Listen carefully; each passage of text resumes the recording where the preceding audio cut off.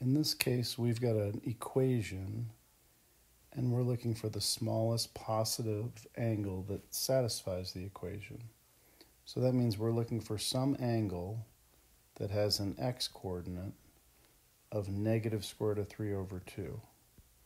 So on my unit circle, I want the x coordinate to be big and in the negative direction. So here and here are the 30 degree angles that both have the x coordinate equal to negative square root of 3 over 2. So I want this one and this one, but I really only want this one here because we wanted the smallest positive angle.